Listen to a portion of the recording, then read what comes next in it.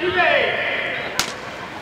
鸣枪起跑之后，穿着恐龙装的跑者就拔腿狂奔，有的把裤管卷起来可以跑得更快，有的用手把头固定，减少摇摆和阻力，各出奇招。自己本身是田径选手，然后也是田径教练，然后我想说可以来玩一下，把那个看得到的地方拉拉下去一点。会会，因为所以我特别把裤管拉高一点。从一个月就开始穿恐龙装练习了，真的？对我都会到体育场练习。实实际穿恐龙装练习。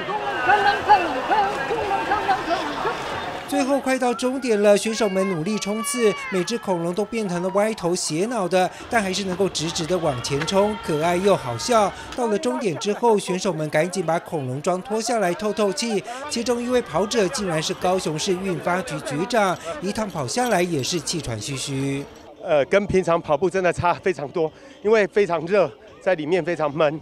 呃，但是我觉得这个是很特别的经验。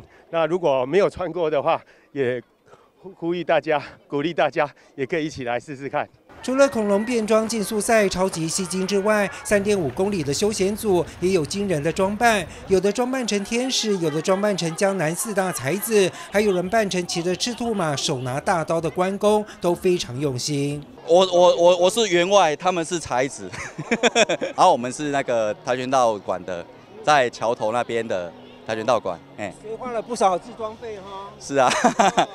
对啊，当然我们家长也很支持我们啊，哎呀，让孩子们一起来参加。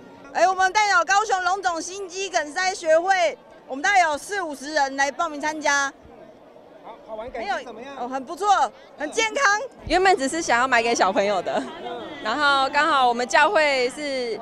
福气教会，所以我们就扮天使，蛮凉爽的，因为翅膀可以挥动。为了让民众享受跑马拉松的热闹气氛，市府运发局特别规划了恐龙变装竞速赛以及休闲组的创意变装秀，希望借此养成亲子运动的好习惯。